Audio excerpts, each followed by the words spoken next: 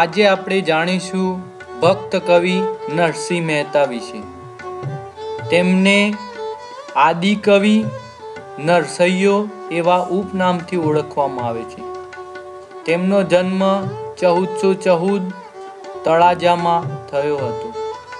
મૃત્યુ ચૌદસો એંશીથી એક્યાસી મોગરોળમાં માનવામાં આવે છે. તે પંદરમી સદીમાં થઈ ગયા. તેમના પિતાનું નામ કૃષ્ણદાસ હતું. માતાનું નામ દયાકુંવર હતું. પત્નીનું નામ માણેકબાઈ. પુત્ર શામળદાસ પુત્રીનું નામ હતું કુંવરબાઈ. તેમની જ્ઞાતિ વડનગરા બ્રાહ્મણ તેઓ હતા.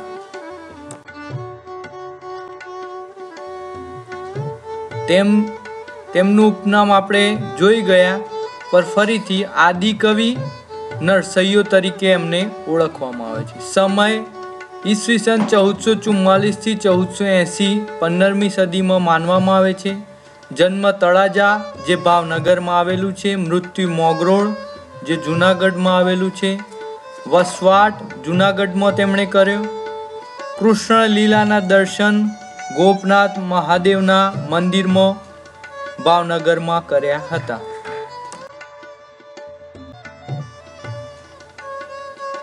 તેમને પ્રથમ મોટા જૈનેતર કવિ, સૌ પ્રથમ મોટા પ્રથમ પંક્તિના કવિ. તે પદ ઉર્મી કાવ્યનો પ્રારંભ કરનાર, પદમાળા આખ્યાનનો પ્રારંભ કરનાર ભક્તિ માર્ગ અને જ્ઞાન માર્ગની કવિતાનો પ્રારંભ કરનાર પ્રભાતિયા માટે પ્રસિદ્ધ છે. પદોમાં જૂણા બંધનો ઉપયોગ કર્યો હતો.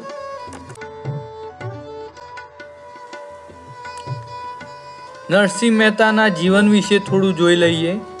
તેમનો જન્મ ભાવનગર જિલ્લામાં તળાજા ગામમાં ઈસવીસન ચૌદસો ચૌદમાં થયો હતો. પિતા કૃષ્ણદાસ મહેતાને ત્યાં થયો હતો. તેઓ પછી જૂનાગઢ, ત્યારનું જૂર્ણદુર્ગ ખાતે સ્થાયી થયા હતા. પાંચ વર્ષની ઉંમરે તેમણે માતા પિતાને ગુમાવ્યા હતા. તેઓ આઠ વર્ષની વય સુધી બોલી શકતા ન હતા.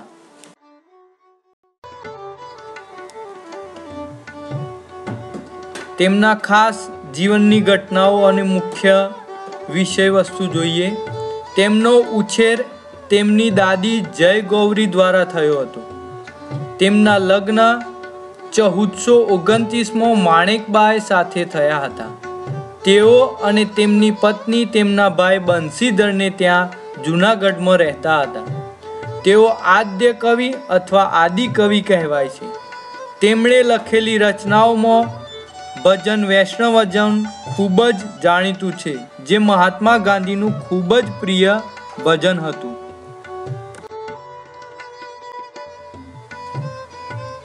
નરસિંહ મહેતાને મલ્હાર રાગ ગાઈને વરસાદ વરસાવ્યો હતો એવું માનવામાં આવે છે. ઉમાશંકર જોશીએ નરસિંહ મહેતાને ગુજરાતી ભાષાના આદિ કવિ કહ્યા છે. પ્રથમ મોટા જૈનેતર કવિ તેમણે જ કહ્યા છે. સૌ પ્રથમ મોટા, પ્રથમ પંક્તિના કવિ પણ ઉમાશંકર જોશીએ કહ્યા છે નરસિંહ મહેતાને. નરસિંહ મહેતાના લગ્ન તેમની સોળ વર્ષની વયે માણેક નામની કન્યા સાથે થયેલા અને તેમણે શ્યામળશ્યા નામનો પુત્ર અને કુંવરબાઈ નામે પુત્રી એમ બે સંતાનો થયેલા. આમ સંસાર માદવા છતો નરસિંહની ભગત ભક્તિ રખડુપણું અને નિષ્ક્રિયતા તેમના તેમ જ રહ્યા. ચાર ચાર જણાનો અને કમાણીનો કાંઈ કરતા કાંઈ નહીં. નરસિંહે એક દિવસ ભાભીએ મૂરખ કહી મહેણું માર્યું. આકરા વેણ કીધા. નિર્ધન કવિ, જેના ધનમાં તેનું સમાન જ હોય, એવા મહેણો સી રીતે સહન કરી શકે? નરસિંહે ઘર છોડ્યું. રખડતા રખડતા એ ગામ બહાર ગયા. વનની વાટ પકડી ત્યાં જંગલમાં અપૂજ્ય શિવલિંગ, એક શિવલિંગ હતું. તેની અંદર તેમણે પૂજા અને અર્ચના કરી અને તે ગોપનાથનું શિવલિંગ હતું એમ કહેવામાં આવે છે. સાત સાત દિવસ સુધી ખાધા પીધા વિના એમણે શિવજીની ભક્તિ કરી. આખર મહાદેવ પ્રસન્ન થયા અને વરદાન માંગવા કહે છે. નરસિંહે માગ્યું એમની જ પંક્તિમાં, મેં માગ્યું જે સ્વામી તમને વહાલું, તે ક્રિયા કરીની દીજી મુને. હે ભગવાન, તમને જે વહાલું હોય તે મને આપો.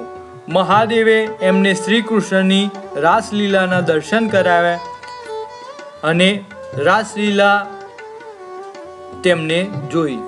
નિરખને ગગનમાં કોણ ઘૂમી રહ્યો તે જ તે શબ્દ બોલે.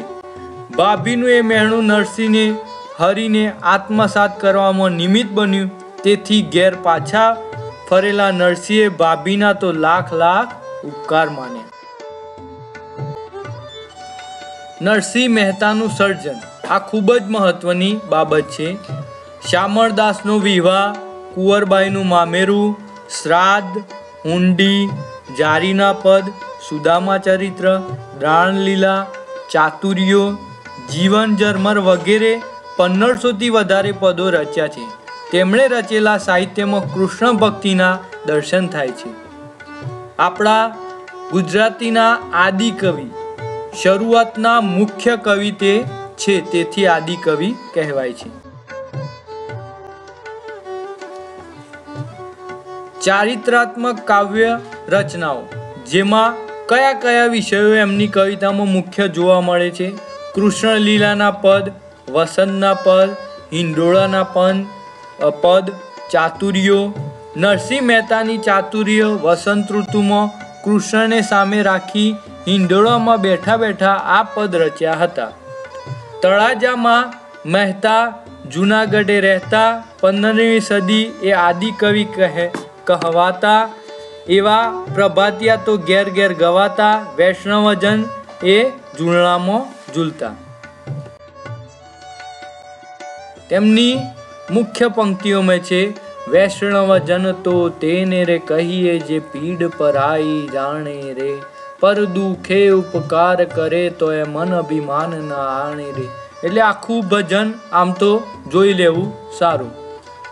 બીજી મુખ્ય પંક્તિ છે જાગને જાદવા કૃષ્ણ ગો વાડિયા, તુજ વિન ધેનુ મો કોણ જાશે? ત્રીજી મહત્વની પંક્તિ છે પ્રેમ રસ પાને તું મોરના પિંછધર તત્વનું ટીપણું તુચ્છ લાગે. પછી બીજી મહત્વની પંક્તિ છે ત્રણસો ને સાઠ ગોવાડ ટોળે મળ્યા, વડોરે ગોવાળીઓ કોણ થાશે? પછી બીજી એમની એક મહત્વની પંક્તિ છે, પર દુખે ઉપકાર કરે તો એ મન અભિમાન ન આણે રે. આમ તો આ વૈષ્ણવજનની જ પંક્તિ છે, પણ ખૂબ પ્રખ્યાત છે. પછી છે, જળ કમળ છોડી જાને બાળા, સ્વામી અમારો જાગશે જાગશે તને મારશે મુને બાળ હત્યા લાગશે. જળ કમળ છોડી જાને બાળા. બીજી મહત્વની પંક્તિઓ છે, ભોળી રે ભરવારણ હરીને વેચવા ચાલી.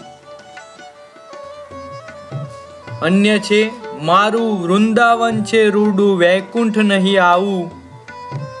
સોળ સહસ્ત્ર ગોપીનો વાહલો મટુકીમાં ગાલી, હળવે હળવે, હરજી મારા મંદિરે આવ્યા રે. પક્ષા પક્ષી ત્યો નહીં પરમેશ્વર સમદ્રષ્ટિને સર્વ સમાન જ્યાં પક્ષા પક્ષી છે, ત્યાં પરમેશ્વર નથી હોતું.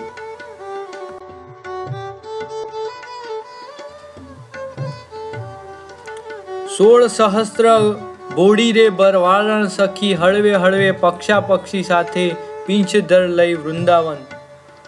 આ એમની રચનાઓમાં મુખ્ય મુખ્ય એમની પંક્તિઓ આપણે જોઈ રહ્યા છે. સોળ સહસ્ત્ર ગોપીનો વાહલો મટીકમાં ગાલી બોરી રે બરવારણ હરીને વેચવા ચાલે. સખી આજની ગળી તે રળી આમળી રે. મારો વાહલોજી આવ્યાની વધામણી રે. સખી આજની ગળી તે રળી આમળી રે. સખી આજની ગળી તે રળી આમળી રે. મારો વાલો આવ્યાની વધામણી રે. સખી આજની ગળી તે રળી મળી રે હળવે હળવે, હરજી મારા મંદિરીએ આવો રે. અહીં મંદિરનો અર્થ પોતાના હૃદયમાં કહે છે. પક્ષા પક્ષી ત્યો નહીં પરમેશ્વર, સમદ્રષ્ટિ સર્વ સમાન પ્રેમ રસ પાને તું મોરના પિંછ તત્વનું ટૂંકણું તુચ્છ લાગે. મારું વૃંદાવન છે રૂડું, વૈકુંઠ નહીં આવું. તેમને મળેલા સન્માનમાં છે. કે તેમના નામથી જે સન્માન આપવામાં આવે છે. ગુજરાતી ભાષામાં શ્રેષ્ઠ કવિઓને તેમની યાદમાં નરસિંહ મહેતા એવોર્ડ આપવામાં આવે છે, જેની શરૂઆત ઈસવીસન ઓગણીસો નવ્વાણુંથી થઈ છે. આ એવોર્ડ આદ્ય કવિ નરસિંહ મહેતા સાહિત્ય નિધિ ટ્રસ્ટ દ્વારા આપવામાં આવે છે. આના વિશે થોડું વિશેષ જાણી નરસિંહ મહેતા વિશે થોડું વિશેષ આ એવોર્ડ વિશે જાણીએ, કારણ કે ઘણીવાર આ પૂછવામાં આવે છે. નરસિંહ મહેતા એવોર્ડ શ્રેણી સાહિત્ય પ્રતિમાનું સ્મૃતિ ચિહ્ન આપવામાં આવે છે. પુરસ્કાર આપનાર નરસિંહ મહેતા સાહિત્ય નિધિ ટ્રસ્ટ. આ પુરસ્કાર કોણ આપે છે? નરસિંહ મહેતા સાહિત્ય નિધિ ટ્રસ્ટ દ્વારા આપવામાં આવે છે. પ્રથમ પુરસ્કાર ઓગણીસો નવ્વાણુંમાં અને પ્રથમ વિજેતા હતા રાજેન્દ્ર શાહ. અંતિમ પુરસ્કાર બે હજાર અઢારમાં અંતિમ વિજેતા હતા વિનોદ જોશી. કુલ પુરસ્કાર આજ સુધીમાં એકવીસ આપવામાં આવે છે. રોકડ પુરસ્કારમાં એક લાખ એકાવન હજાર રૂપિયા આપવામાં આવે છે. ગુજરાતી સાહિત્ય ક્ષેત્રનો સૌથી મોટો પુરસ્કાર એવોર્ડ આને માનવામાં આવે છે. ઈસવીસન ઓગણીસો નવ્વાણુંથી નરસિંહ મહેતા એવોર્ડ આપવામાં આવે છે. વર્ણન ગુજરાતી કવિ, લેખક, વિવેચકને તેના પોતાના સમગ્ર સાહિત્ય સર્જન માટે આ પુરસ્કાર આપવામાં આવે છે. આ પુરસ્કાર ગુજરાત રાજ્યના જૂનાગઢ ખાતેના આદ્ય કવિ નરસિંહ મહેતા સાહિત્ય નિધિ ટ્રસ્ટ દ્વારા શરદ પૂર્ણિમાની સાંજે રૂપાયત, રૂપાયતન સંસ્થા ભવનાથ ખાતે આપવામાં આવે છે. ગુજરાતી સાહિત્યમાં સૌપ્રથમ સ્વાક ફિલ્મ નરસિંહ મહેતા, નિર્માતા ચિમનભાઈ દેસાઈ, પ્રથમ ગુજરાતી રંગીન ફિલ્મ લીલુડી ધરતી. આ બધું યાદ રાખવા જેવું છે. આના વિશેના કેટલાક પ્રશ્નો જોઈ લઈએ. ડીવાયએસપીની પરીક્ષામાં પૂછાયો તો નરસિંહ મહેતાનો જન્મ કયો?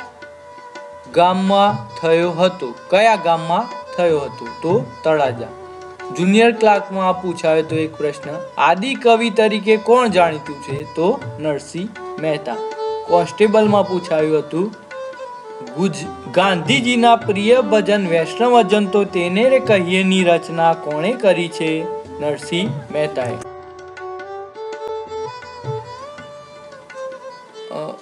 બીજા પ્રશ્નો છે, કુંવરબાઈનું મામેરું આખ્યાન કૃતિ કયો, કયા કવિની છે? નરસિંહ મહેતા.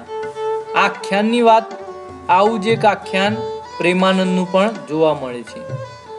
જ્ઞાનપીઠ એવોર્ડ કયા ક્ષેત્રે આપવામાં આવે છે તો સાહિત્ય ક્ષેત્રે. ગુજરાતી ભાષાના શ્રેષ્ઠ સાહિત્યકારને ક્યારથી નરસિંહ મહેતા એવોર્ડ આપવામાં આવે છે? ઈસવીસન ઓગણીસો નવ્વાણુંથી નરસિંહ મહેતા સાહિત્ય નિધિ ટ્રસ્ટ દ્વારા આ એવોર્ડ આપવામાં આવે છે. ગુજરાતી સાહિત્યમાં કવિતા ક્ષેત્રે સૌથી મોટો એવોર્ડ કયો છે? નરસિંહ મહેતા એવોર્ડ. ગુજરાતી ભાષામાં ભક્તિ ગીતો લખવાનો પ્રારંભ કોણે કર્યો? નરસિંહ મહેતાએ.